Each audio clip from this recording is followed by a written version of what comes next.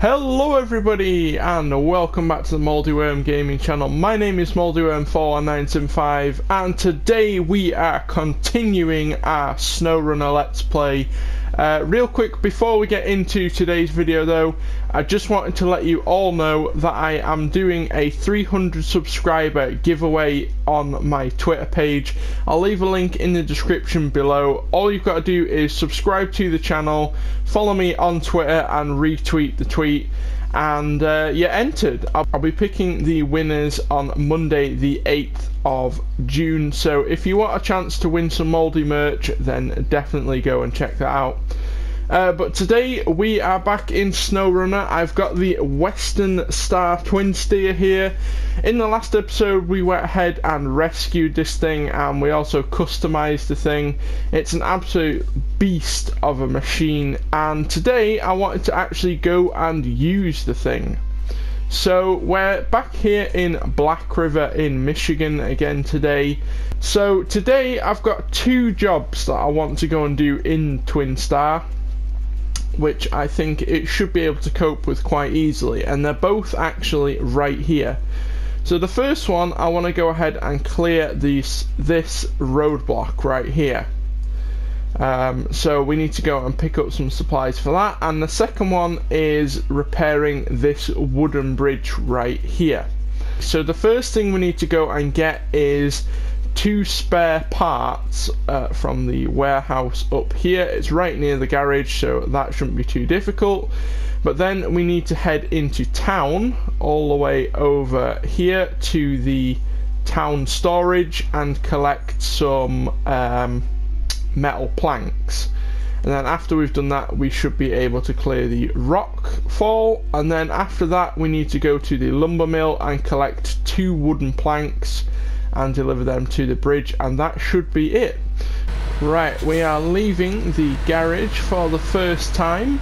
I have driven this thing briefly in the previous video, so if you've not seen that and you want to see um, me recovering the twin steer here, then I will leave a link in the description to the SnowRunner playlist I've made. Uh, that's got all the videos I've created in so far, but in the last episode we did go and rescue this thing. It was quite a long haul video. Um, it's probably the longest video I've made on SnowRunner. Now the quite handy thing about this car, or this uh, truck I should say, is obviously you can see how big this thing is, it's really long. It can carry four sort of units of cargo and the metal planks are going to take up two cargo slots and the two service parts are going to take up one each. So that's another two. And this thing can carry four. So that's going to be perfect actually for clearing the rock fall. So we're going to go and get the metal planks first because they're a little bit further away. And then we're going to go and get the service parts and then take all that to the rock fall and then we're going to go and get the wooden planks and take them to the bridge. Right, we're just entering the town. We've got a nice welcome sign there. I believe this is the only map that sort of has an actual, like, proper town, like with paved roads and everything. Um, not many of the other maps seem to have that. I mean, they have like little settlements, but not like a proper town and here is the town storage just to my right. Um, I've got to make it around this corner first. We're already hitting a lamppost. The wheels don't want to turn back which is always helpful. Right let's try that again. Right so that's where we've got to go down there you can see the yellow thingy. I'm gonna go around the other side and maybe we can um, maybe we can get in that side a little bit easier. I also didn't take the best route round here. Don't hit the fire hydrant please. We are kind of driving on someone's lawn just a little bit. It's okay. They won't mind. Don't hit this car. There we go, that's it. That's what we needed.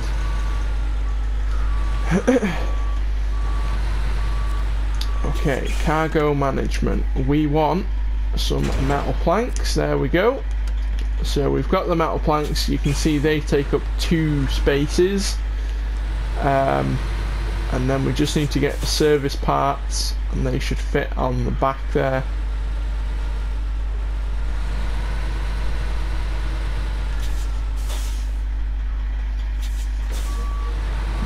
Another little three point turn just to get out of here. We need to go back to the garage now actually because that's where the warehouse is. It's up that sort of direction and that's where we get the service parts from. Now I have been to the warehouse a couple of times just off camera doing a couple of missions and it is quite boggy up there so it'll be a good test to see whether the Twin Steer is actually a good off-roader or whether it is just a bit of a beached whale. And we've got to make this tight corner once again. It's not as bad going this way. We're gonna do it in one. That is incredible. I'm getting used to how this thing drives now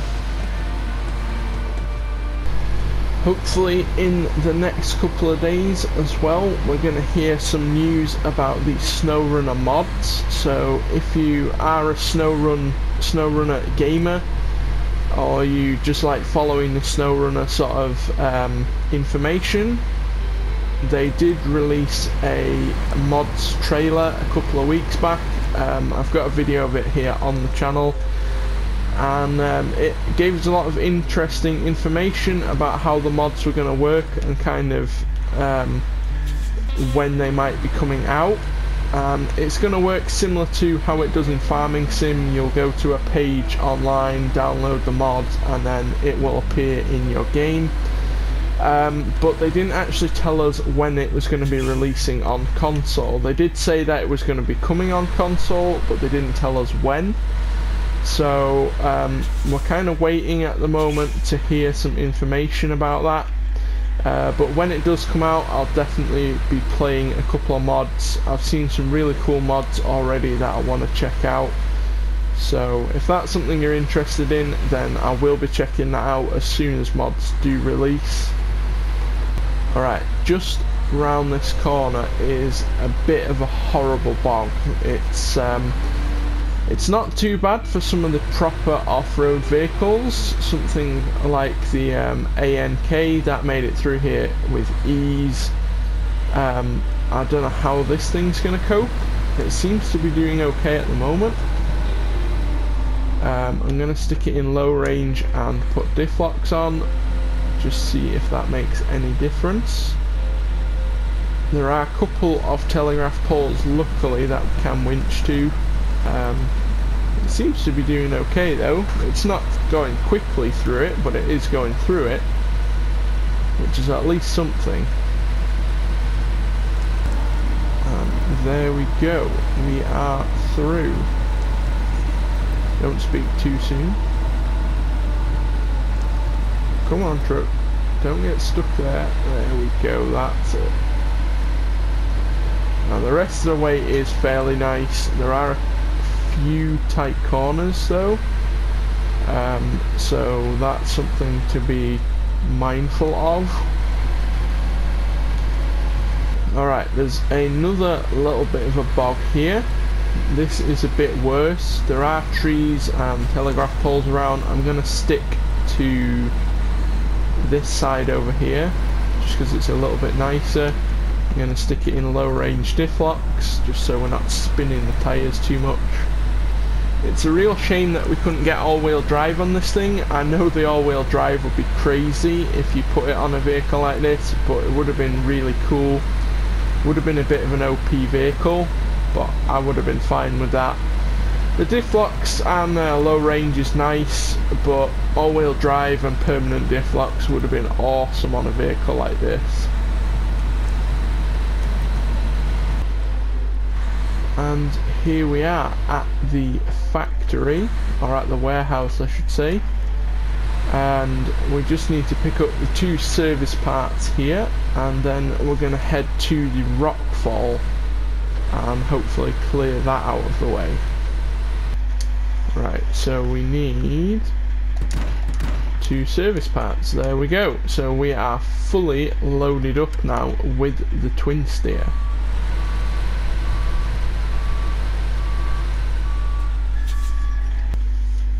Right, so I'm just having a look on the map. We are currently up here at the warehouse and the rockfall is just here. I'm just debating the sort of nicest route to take. I feel like we just want to follow this road here. Um, we could probably, I think we want to head sort of to the farm here, go through the farm, sort of through the other side of the farm and follow this route. It seems to be mainly on tarmac and um, well there's a little bit of dirt but it shouldn't be too difficult. Something that is quite impressive with this vehicle is it's such a massive thing. It does have a fairly big gas tank in this thing. It can hold 360 litres, you can see in the bottom. Um, but the fuel consumption is actually not that bad. For a massive vehicle like this, it does actually um, it doesn't actually use that much fuel, which is quite nice actually.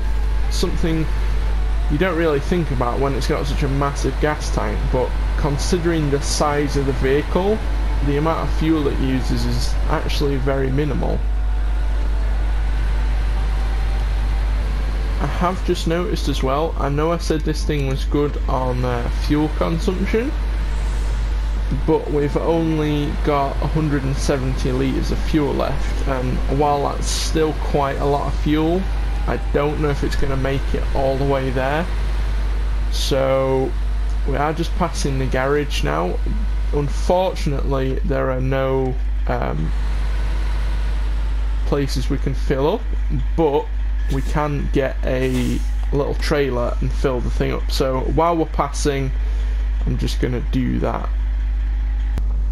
So something I've learned through playing SnowRunner is the main sort of issue you'll run into is actually running out of fuel. So another little off-roading tip for you as long as you are close to a trailer store so even if there are no fuel stations around even if there are no um, you know uh, fuel trailers around or anything like that if you are near a trailer store here you basically have all you need because you can get a fuel trailer and fill your thing up and you can also get a service trailer and fix your truck. So if you're ever in a bit of a pickle and there's no uh, fuel sort of services around look for the nearest trailer store and you may still be able to um, sort of help yourself. And there we go. The twin steer is full once again so we can continue onwards So we are going to turn right here at the farm, go all the way through the other side of the farm and we should hopefully join onto the tarmac road and then it is just a straight road to the rockfall. Personally, I think it's really cool. I am really glad they added this thing to the game. The sell price alone for this thing is amazing but I have to admit the practical use of this vehicle is a little bit short-handed because while it's good at doing something like this you can't really take this thing extreme off-roading. So you could use this thing for like little missions especially around the Michigan maps because they're a little bit nicer. But if you wanted to take this thing extreme off-roading it's really not going to cope that well. It bottoms out all the time. The cornering, as you can see, is absolutely terrible in the thing. The stock winch on this thing is also not great, although you can upgrade it with the dual winch. So, um, if you've not seen the customization video I did for this thing, you can actually fit two winches to this thing, um, which gives it a lot more power. This thing, obviously, is very heavy so the stock winch does have a little bit of a struggle pulling this thing because it is so heavy. Um, so I can see why people don't like this vehicle, but I just like the look of the thing. It's awesome. It's not the best off-roader, but the fact that it can carry so much is just awesome. Okay, so I was going along this road all well and happy. We're almost now at the roadblock. But something cropped up inevitably. There is a fallen bridge, so basically we can't go this way. However, um, we may be able to... Ah, we need one metal plank and two concrete blocks, which we can actually get from the warehouse, which is a right pain in the backside. But we could at least deliver the metal planks, because something else that I've discovered while we're doing this is for the roadblock, if I just go to the roadblock, uh, there it is, we actually only need the two service parts. We don't need the metal planks. So, at least we've got the metal planks, we can use them for the bridge, um, but we don't need them for the roadblock. So, we will show the task, accept the task, uh, cargo management, we will unload the metal. Uh, we'll unload the metal thingies, and that sort of constructs the frame. But then we do actually need to go and get the concrete blocks. So I'm going to go and get the concrete blocks back from the warehouse, and I'll see you when we can cross the bridge again. Alright, so I am back. I went and got the um, the ANK right here and uh, just picked up the concrete blocks. I just drove the same road that we did in the Twin Star and I have to say if you haven't got the ANK yet it is definitely my favourite big rig in this game. If you've not got it, go and get it. I've got a video that I made showing the location and actually discovering the vehicle. You don't have to repair the thing when you find it or fuel it up, you just get it, recover it, and it's yours. And it is probably the best off-roader in this game. Uh, but anyway, I got the concrete blocks, they're in the back there, so let's go ahead and unload those, build the bridge so we can cross over it, and uh, luckily we already had the um, let's go and stop the engine on this thing. Luckily we already had the metal on there. We didn't actually need it which was nice. And now we can cross our brand new bridge as well let's not scuff it up on the first crossing there we go across the bridge I do love how the like little missions actually unlock parts of the map. So like you couldn't get across there before, but you do the mission and then you can build the bridge and get across. And it's like a nice little feature because it feels a lot more rewarding than just getting like cash and RP. You actually get um, like a feeling of accomplishment Alright, so just round the next corner here is the fallen rock. So the rock side, you can actually just see it up ahead there. We've got the two service parts we need to unblock that, and then we just need to go and get the wooden planks. So we go to uh, show the task, accept the task, cargo management, unload those. Oh, and we actually leveled up to rank 8 as well, which is pretty cool. And we got 1600 credits as well there, which is pretty cool. And now we've unblocked this sort of part of the part of the map as well, which is kind of useful because um, this is sort of like one of the main roads on this side of the map. You can see uh, so, the final thing we need to go and do is, if we follow this road around here in the Twin Steer, go across here to the lumber mill, get the wood and bring it back to the bridge. I have travelled this route in one of the scouts and it is actually quite nice. I reckon we should be able to cross that in the Twin Steer and you can actually cross the water here as well, it's not too difficult. Right, so just here is the wooden bridge that we are going to go and fix up. Um, you can actually drive across this water if you stick right close to the side of the bridge then you shouldn't have any issues. I made it across in, I think it was in the Hummer. Um, it got fairly deep, but I mean this thing does have some pretty good uh, like air filter thingies, so it can go pretty deep. I'm gonna go low range diff locks. Hopefully we don't get stuck.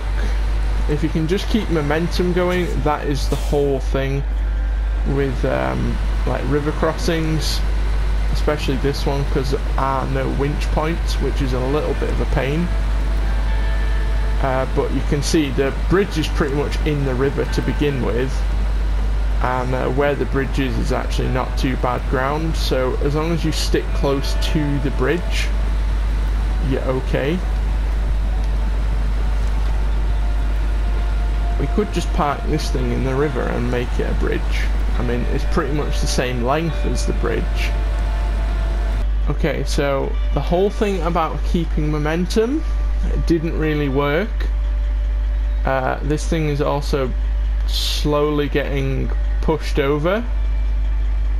I have a feeling this thing's going to fall over. Um, but I am actually completely stuck now. If I try and move... Oh do we have any movement? Yeah, the ground is a little bit glitchy over here as well.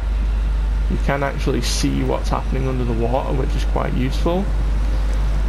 Uh, yeah, this thing is completely submerged now. It's not taking any water damage, so that's at least one thing. But I'm going to go and get the ANK to the other side and see if we can pull this thing out. Right, I got to this side as fast as I could in the ANK.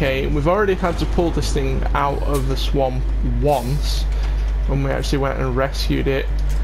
Um, yeah, we're going to have to be a bit closer than that. Um, and I discovered in that video that it didn't really like pulling stuff in, well, forwards. Still got the closer. So I'm just going to go straight for the reverse and I hope this thing can pull that out. It does have all-wheel drive, it does have diff locks. It's a pretty good vehicle. Well, I mean, it's actually my favourite um, big rig off-roader. The only thing that lets this thing down is the um, the fuel consumption in the ANK is phenomenal. It uses a lot of fuel. So if you're going to go and get this thing, that is something just to be aware of. And it also doesn't have any frame add-ons, which is a little bit of a pain. But it has rescued the massive whale out of the swamp once again. I'm hoping it's not going to be stuck there now. Um, come on, truck. You can do it. I would have gone all the way around, but it's a long way around, and the fact that we could just drive this thing across the river was actually not too bad. Come on, please don't say we're stuck here. Oh, for God's sake. Right, okay, we'll winch that to the ANK, handbrake off, and winching. There we go. That's what we needed. Okay. We are across to the other side. The wood mill is just to my left round here. We're going to pick up the wooden planks and fix the bridge. And we won't ever have to drive across the swamp again. Right, here is the lumber mill. Um, I can't remember where we need to go to get the wood. I think it's round the front here. There we go. We need two wooden planks. There we go. And then we just need to go back to the bridge and fix it. Right, we are just approaching with the wood. Please don't bottom out there, thought it was going to get stuck and we have actually there we go we have actually fixed up a bridge in this thing. It's probably the shittiest bridge you've ever seen. But we did get 120 RP and 1400 credits. And to celebrate I'm actually going to drive this thing across here. Since we got stuck in the water before I want to drive this thing across our brand new bridge. Which apparently it can't do because it's stuck on a tree. For God's sake twin steer you're supposed to be a behemoth of a vehicle you're not supposed to be stopped by twigs and such piddly little issues. There we go it is almost the entire length of the bridge. So for all of those people who are possibly watching this video possibly not who think that the twin steer is a completely useless vehicle in this game we set out to do two objectives we ended up completing three we fixed two bridges and uh, we cleared a rock fall as well. So to all of you, I say definitely go and get the Twin Steer. It's not as useless as it seems. Obviously, there are a lot better vehicles. I could have done this a lot easier and a lot quicker with something like the ANK. However, it was a lot of fun doing it in this vehicle. Um, I really do like this thing, and we've uh, explored a bit more of the map as well. Uh, but that is going to be it for today's video. I hope you have all enjoyed. Thank you all so much for watching. And until next time, a goodbye.